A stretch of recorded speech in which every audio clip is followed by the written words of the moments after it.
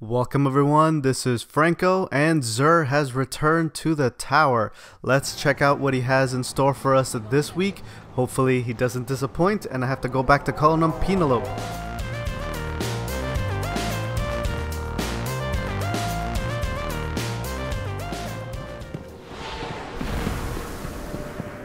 Now you can find that schmuck all the way down in the near the vanguards off to the left. Mike, Creepy bastard. the Nine wish to speak to you. Really? Who are the nine? They still haven't said that. Odd, you know, it's kind of weird. But um, for the Titan, we have the Twilight Garrison. You press B and then B once again while you're airborne to evade. Mmm, I don't know. I don't know how I feel about that.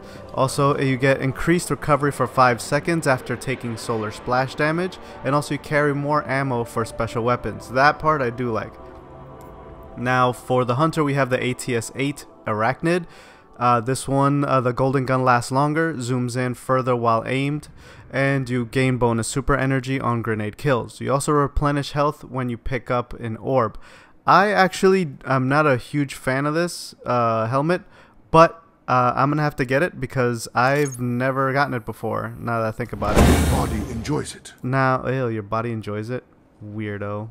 Alright, moving on. We have the Ram for the Warlock. Uh, this helmet, you gain increased armor, and all Voidwalker melee attacks trigger lifesteal on a hit.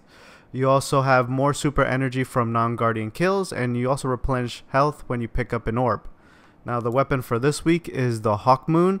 It is an excellent hand cannon. Um, it's it's amazing, especially in the Crucible. You get two more random bullets in your magazine, deal considerable bonus damage, and one random bullet in this magazine causes considerable bonus damage.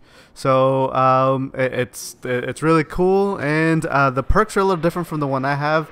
I have two of the same perk, uh, the the top perk two more random bullets, blah blah blah, uh, deal considerable bonus damage. So it, it's I doubled up on that. So it was a really good set of perks.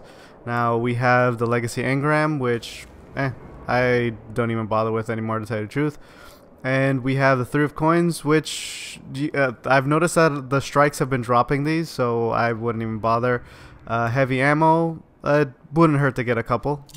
And that is actually pretty much it for this week. From the Nine. Thanks everybody for watching. Please like and subscribe. Also, I want to know, if, uh, comment below to see if you're still playing uh, Destiny. Um, I, I still I am, especially when they have these updates, but uh, I'm curious to see what, if anybody else is. Uh, again, thanks everybody for watching. Please like and subscribe. And on that note, I'm out of here.